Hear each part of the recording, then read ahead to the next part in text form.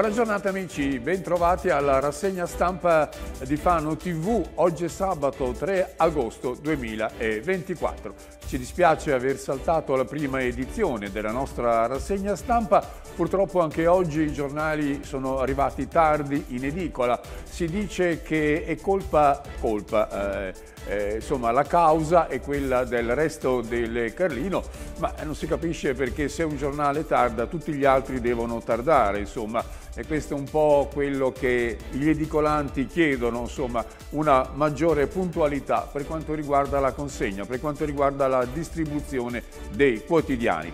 Ebbene, noi siamo stati costretti oggi a saltare la nostra prima edizione delle ore 7, comunque eh, procediamo ugualmente con la nostra rassegna stampa.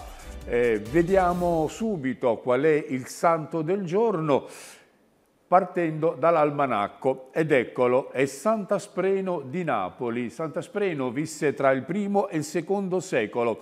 Fu un eh, uomo miracolato da San Pietro. San Pietro in quel momento stava dirigendosi verso Roma, si fermò a Napoli e lì fondò una comunità cristiana.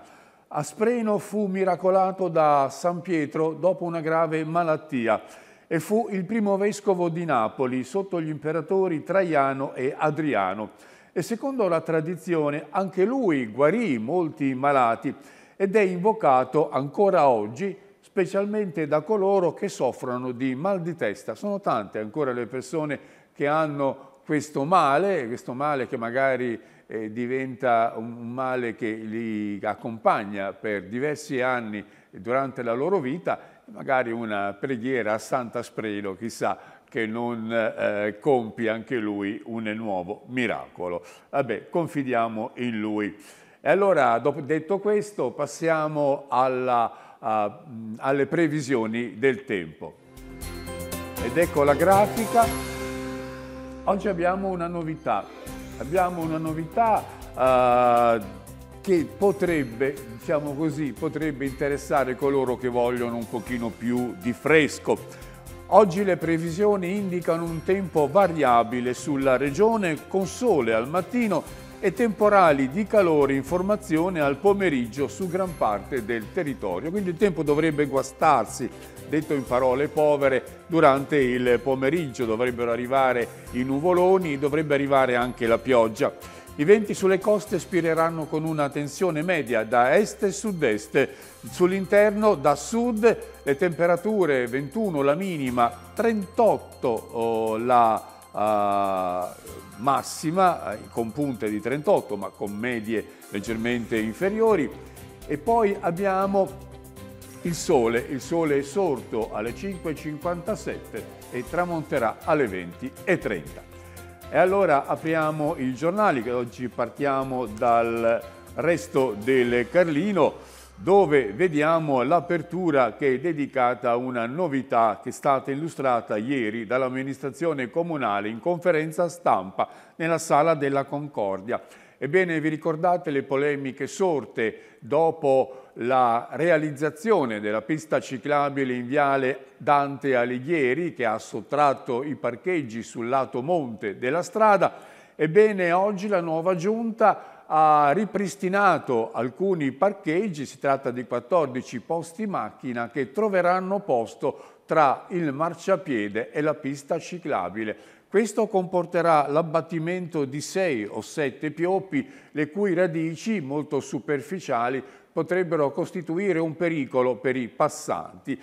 l'abbattimento degli alberi crea sempre delle polemiche, ma in questo caso anche le, i rappresentanti di categoria approvano questo progetto. Vediamo anche le dichiarazioni di Barbara Marcolini, presidente della Confcommercio, e la soddisfazione di Andrea Giuliani della Confartigianato. Ebbene, il progetto, illustrato ieri dal sindaco Luca Serfilippi e dall'assessore ai lavori pubblici Gianluca Ilari, mostra una nuova pavimentazione fatta con dei traforati in modo che il terreno sia permeabile vicino alle case. Ebbene, qui lì sarà il marciapiede. Poi ci saranno i posti auto, i posti auto oh, tra gli alberi, quindi verranno ricoverati dei posti per la sosta e poi c'è la pista ciclabile che rimarrà così com'è, così come la carreggiata. Un investimento questo di 450 mila euro, di cui 300 mila verranno dati dalla Regione Marche dopo che l'amministrazione comunale parteciperà a un bando finalizzato appunto alla ristrutturazione della, uh, della, delle vie. Un intervento questo che eh, viene considerato, che è stato poi concertato con il tavolo economico e anche con i rappresentanti dei residenti della zona. E non si sa poi che fine faranno i parcheggi presi in affitto su Viale Gentili da Fabriano. La Giunta valuterà eh, loro, eh, il loro risultato eh, alla fine della stagione estiva, insomma alla fine di settembre. Questo per quanto riguarda le novità che si profilano per il lungomare di lungomare, siamo nella zona di Sassonia, in Viale Dante Alighieri. E poi oggi dobbiamo riferire di un lutto, diamo l'addio a Oscardo Fede Severi, è deceduto all'età di 76 anni, era un imprenditore, eh, il rappresentante della SEA Group, una società che si occupa della sicurezza sul lavoro, della sicurezza sanitaria, soprattutto anche dell'ambiente e dei rifiuti. Si è spento a 76 anni il fanese Oscardo Severi, era nato a Fossombrone, vinto da una malattia che ne aveva da tempo provato il corpo, ma non lo spirito, perché lo spirito di Oscardo era sempre uno spirito propositivo, vitale, pensava al futuro anche pochi giorni prima del suo decesso.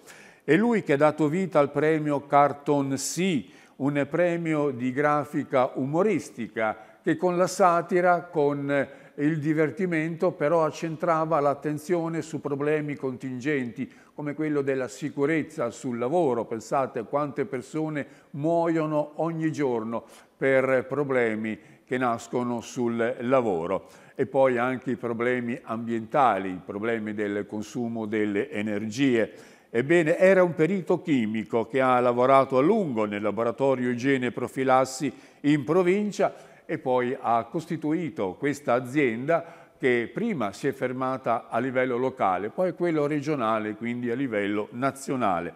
Dal 1989 aveva creato lo studio ecologico associato SEA.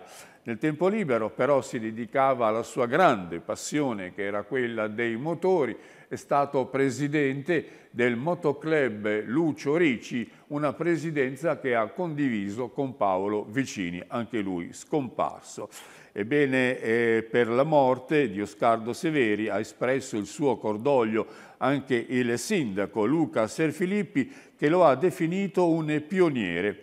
Ha promosso una riflessione profonda su temi cruciali come i diritti e le disuguaglianze attraverso appunto Carton C. E vediamo che oggi, così come ci informa anche il Corriere Adriatico, si terranno i funerali, si terrà l'addio ad Alberto Fiorani, il 51enne fanese che è deceduto in seguito ad un incidente stradale che si è verificato sull'Adriatica Nord eh, tra Fano e Fosso Seiore. Era in sella alla sua motocicletta con il figlio nel sedile posteriore. Purtroppo si è scontrato con un'auto che lo precedeva e purtroppo per lui non c'è stato nulla da fare, invece il figlio per fortuna si è salvato e proprio per consentirgli di partecipare al funerale quest'ultimo è stato ritardato perché l'incidente è avvenuto pochi giorni fa e i funerali si terranno questa mattina alle 10 nella chiesa di San Paolo al Vallato eh, e poi la salma sarà tumulata a San Giovanni in Marignano. Vediamo le altre notizie, una notizia di cronaca che viene evidenziata in apertura sul Corriere Adriatico, ma la vediamo anche con grande evidenza sul resto del Carlino, picchiato e rapinato da due mascherati. Racconto shock di un artista fanese 52enne. E quando si dice che la situazione dell'ordine pubblico a Fano è peggiorata, lo troviamo con grande evidenza quasi tutti i giorni sui giornali per quanto riguarda risse, aggressioni, accoltellamenti. Ebbene, questo è un fatto veramente eh, singolare, un fatto che però fa riflettere, un fatto da arancia meccanica. È accaduto a San Lazzaro domenica sera. Un, eh, un, eh, un uomo, un fanese di 52 anni, di 52 anni, ha raccontato di essere stato picchiato sotto la minaccia di un coltello e derubato di tutto quello che aveva. Si tratta di tre borse con cose di non grande valore all'interno, ma insomma è stato picchiato con violenza per sottrargli quello che aveva con sé. È una violenza inaudita quella che ha subito e subito denunciato forza, alle forze di polizia che ora indagano sull'accaduto e stanno soprattutto visionando i video delle telecamere che sono state posizionate in, in zona. Dicevo, sono state sottratte tre borse, tutta roba di poco valore, spiega lui stesso, e, insomma c'era anche un braccialettino d'argento a cui era legato qualche oggetto affettivo e il portafoglio con tutti i documenti. Insomma, veramente un fatto eh, molto molto grave, non tanto per il valore sottratto, ma quanto per la violenza con cui è stato perpetrato.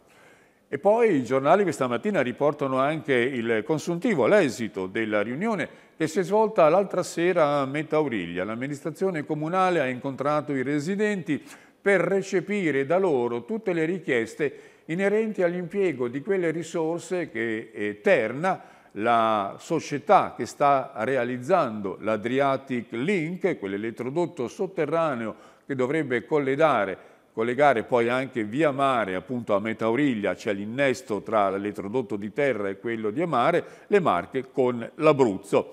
Adriatic Link intitola Il resto del Carlino, rivolta di Metauriglia residenti all'assalto. Soprattutto sono state evidenziate le proteste di coloro che eh, vedono passare l'Adriatic Link, questo elettrodotto, eh, in prossimità dei loro terreni, eh, il che comporta una zona di rispetto che appunto sconfina con i terreni in proprietà. E questo desta delle proteste perché poi insomma, questi terreni diminuiscono di valore, non si riescono a commercializzare e via dicendo. Ma l'intento dell'amministrazione comunale era un altro, era quello appunto di chiedere ai cittadini come volessero impiegare quei soldi che Terna aveva messo a disposizione. E i cittadini hanno ribadito le loro richieste, vogliono una maggiore tutela eh, per quanto riguarda la viabilità della statale Adriatica Sud e hanno proposto anche la realizzazione di due rotatorie, una a Metauriglia e una a Tombaccia. E poi c'è la questione dell'autovelox, quell'autovelox che è stato installato ed è ancora in funzione oggi, nonostante che a livello nazionale si dica che questi, che questi apparecchi sono stati sospesi perché irregolari.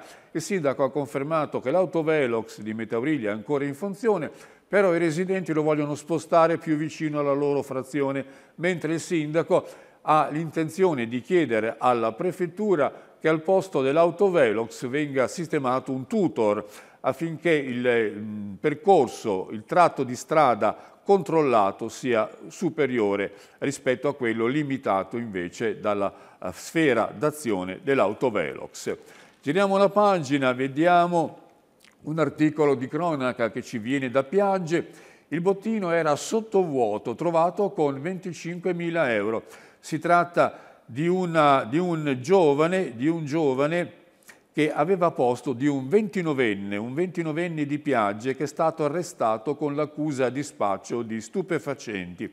Aveva posto 25.000 euro sotto vuoto, pensate, in una busta insieme a, a 4 kg e mezzo tra marijuana e hashish. Insomma, li aveva ben conservati eh, e li aveva privati di aria.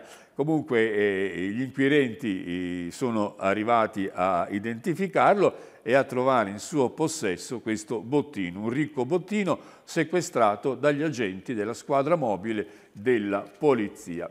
Vediamo anche le notizie di Urbino dove c'è una novità per quanto riguarda le cerimonie delle lauree brevi, nuovo cerimoniale in forma collettiva. Ebbene, le, le lauree non verranno più consegnate eh, in una cerimonia individuale, che era più intima, magari era anche più emozionante per eh, i nuovi laureati, e beh, lo si farà tutti insieme, come già avviene in altre università. Cambia la dinamica per la consegna dei diplomi per la triennale, dove non è prevista la discussione della tesi, e questa è la novità che si è profilata. Vediamo le pagine di Pesaro, dove abbiamo anche una replica dell'ex sindaco Matteo Ricci in ordine a quella polemica che ha visto due eh, associazioni, due società ricevere dei soldi eh, direttamente dall'amministrazione comunale. Matteo Ricci dice io di questa cosa non ne sapevo nulla, mi sono fidato dei dirigenti. Eh, io non mi occupo di affidamenti, ha dichiarato Ricci, non l'ho mai fatto in 15 anni, la magistratura verificherà eventuali errori e responsabilità personali laddove emergessero. E intanto vediamo che l'onorevole Baldelli, Antonio Baldelli, e, e in Parlamento ha chiesto l'intervento degli ispettori. Sollecita i ministeri le verifiche sul corretto impiego delle risorse pubbliche nel comune di Pesaro. E poi c'è l'attacco nei confronti di Ricci. Non è nuovo, ha detto Baldelli, a gestioni allegre. Sforò anche il patto di stabilità. Vediamo anche altre notizie che riguardano, riguardano, la provincia di Pesaro, però insomma riguardano un po' anche tutta la nazione, perché c'è una rivolta di coloro che, sono, che vendono eh, la cosiddetta cannabis light, quella che viene utilizzata anche a scopi farmaceutici. Ebbene c'è il governo, la Commissione Affari Costituzionali e la Commissione Giustizia che hanno approvato un emendamento che vieterebbe la coltivazione e la vendita delle infiorescenze della cannabis, equiparando inoltre la cannabis con quantità di TK, di THC inferiore allo 0,2. Insomma, sono quelle eh, bustine di cannabis che vengono vendute fino ad oggi liberamente nei negozi. Ebbene, il governo vieterebbe anche queste. Qui c'è appunto la sollevazione dei venditori che dicono così si blocca l'intera filiera, compresa la cosmesi, solo per accontentare i proibizionisti. E c'è anche chi usa uh, queste, eh, queste, sostanze per usi eh, medicamentosi. Happy birthday per una insegnante di inglese molto molto amata. Si tratta di Miss Cola, Anna Maria Cola, uh, che ha passato cent'anni ne ha passati, pensate, 74 de, eh, dedicati all'insegnamento dell'inglese ai, ai, ai, suoi, ai suoi alunni. Ebbene, carismatica, ma che paura col suo Will you come to the blackboard? Insomma, vuoi che ti metta nel registro nero? Insomma, anche questo faceva un po' paura agli studenti, ma gli studenti l'hanno amata perché era una insegnante che insegnava col cuore oltre che con la testa. E allora passiamo ora al Corriere Adriatico, dove vediamo che l'articolo di apertura è dedicato a quanto accaduto a San Lazzaro, aggredito, picchiato e rapinato di notte, gli prendono il PC, portafogli e documenti. A San Lazzaro un cinquantenne in bicicletta, vittima di due uomini a volto coperto, indaga la polizia. E poi vediamo a fondo pagina eh, il nuovo progetto dell'amministrazione comunale per Viale Dante Alighieri dove si ripristinano i parcheggi. Eh, Quell'iniziativa molto molto contestata eh, assunta dalla vecchia amministrazione, contestata dai residenti, quali, ma lì c'era un contrasto, dobbiamo dire, perché i residenti volevano che i parcheggi fossero eliminati, gli operatori, i baristi, eh, i ristoratori volevano che i parcheggi fossero invece lasciati. E beh, c'è stato questo contrasto, ma alla fine l'amministrazione comunale ripristina 14-15 parcheggi a seconda appunto della distanza che si riuscirà a ricavare. Anche il Corriere dà l'addio a Severi, innovatore nell'impresa, grande appassionato di auto d'epoca.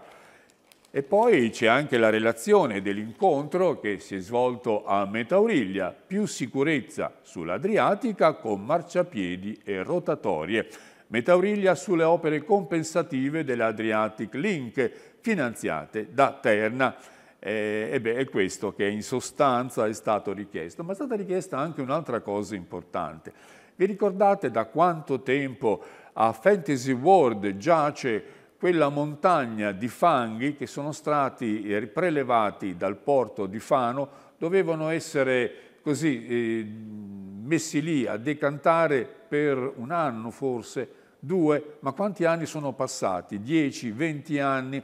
Ebbene, la cassa di colmata ad, in Ancona ancora aspetta di ricevere. Ogni tanto si dice no, abbiamo provato, eh, abbiamo messo i soldi, abbiamo tutto pronto per spostarli, ma quei fanghi rimangono sempre lì. E quindi sarà questa una, uh, uno degli incarichi che la nuova giunta uh, ha preso dalla vecchia, ma anche l'autorità portuale, insomma, che deve poi decidere, deve finanziare il tutto per risolvere il problema. L'assessore regionale Baldelli interviene sul rifacimento dell'asfalto per 4 km sulla superstrada Fano-Grosseto tra Calcinelli e Fossombrone. Nel corso del sopralluogo, ieri mattina, eh, il Baldelli ha così ribadito quello che la Regione ha fatto in questo, in questo versante. Marotta, innamorati degli anni Ottanta, stasera il concerto di Raff, pienone in piazza per Tracy Spencer, Ivan Cattaneo e i Rockets. Ebbene, anche Marotta è una città molto viva, eh, è vicino a Senigallia, ma insomma eh, mi dà una certa concorrenza con le sue iniziative. Marotta poi è anche un luogo molto amato dai cantautori. Passiamo a Senigallia, passiamo a Senigallia eh, dove si parla della finale del Summer Jamboree, weekend da urlo, questo che si profila in questo fine settimana in hotel per due notti fino a 2.600 euro. Veramente gli operatori del sistema ricettivo stanno così avvantaggiandosi in maniera molto rilevante da queste manifestazioni. Il concerto dell'Abbey Town, Big Band, Ren Review, Atmosfera Hawaiana, La Rocca, il corteo di auto. Sono diverse iniziative che corredono questo weekend da urlo, così come è stato definito appunto dal Corriere Adriatico. Vediamo anche le pagine pesaresi del Corriere eh, dove si parla della bonifica dell'ex SAM, anche questo è un problema che ogni tanto rimbalza sulla cronaca, una cifra da capogiro, questa volta sono 4 milioni di euro che servono per effettuare l'intervento. La Multiservizi batte cassa al Comune per il problema delle falde inquinate. Altri 150 mila euro saranno necessari per intervenire sul risanamento idrico dell'area. Insomma è un progetto che necessita di molte più eh, sostanze, di molte più risorse rispetto a quanto preventivato. Giriamo la pagina deluso dalla bocciatura delle mie proposte. Nelle motivazioni molte cose non tornano, ha detto Andrea eh, Biancani per quanto riguarda il reparto della salute mentale dell'azienda sanitaria territoriale numero 1. Non c'è la volontà di trovare una soluzione reale. Ha detto il sindaco di Pesaro che in qualità di consigliere regionale, prima di rivestire la carica di primo cittadino, si era occupato eh, parecchio per quanto riguarda appunto una idonea ed efficace sistemazione del reparto di salute mentale di Muraglia. Una palazzina per uffici e magazzini dopo la demolizione del Naumacos, il cantiere Rossini ha chiesto al Comune la quinta variante al progetto di rinascita e sviluppo. vedete come il cantiere navale Rossini progredisce e in trasformazione nella zona del porto. E poi ancora Urbino, ora il riequilibrio territoriale unendo le politiche comunali. Busca, eh, Tiziano Busca, coordinatore del Partito Socialista, interviene sul ruolo di Urbino capoluogo per un nuovo sviluppo. E anche qui eh, il ruolo di Urbino come provincia, il ruolo di Urbino come punto di riferimento per larga parte del territorio eh, provinciale che fa riferimento nell'entroterra, viene consolidandosi sempre più in merito a tante proposte e a tanti interventi. e con questa notizia terminiamo la nostra rassegna stampa, dandovi appuntamento alle 7 di lunedì prossimo, sempre pronti per relazionarvi sulle notizie del giorno. Grazie per l'ascolto e a risentirci.